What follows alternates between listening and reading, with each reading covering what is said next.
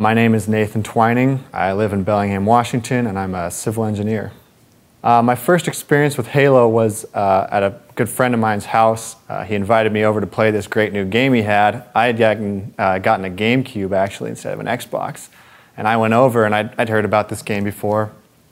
And uh, went over and played it and had a blast. And from there I was hooked, you know, always trying to be over at his house, always trying to play it, calling him up.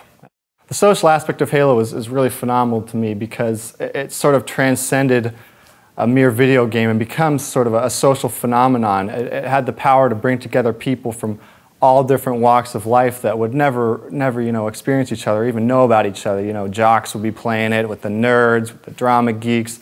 Um, and one cool thing about, about Halo was I would go to a college campus anywhere, and I could hear the sounds of Halo through the halls everyone was playing it, um, you know, and some of my, my good friends were friends that I met through Halo that I never would have, you know, never would have known otherwise.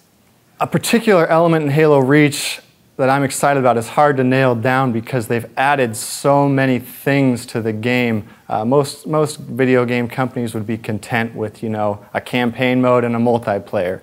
Halo Reach has campaign, a co-op campaign, multiplayer, which is competitive, Forge World, they have their uh, video replay systems, and just a myriad of custom options.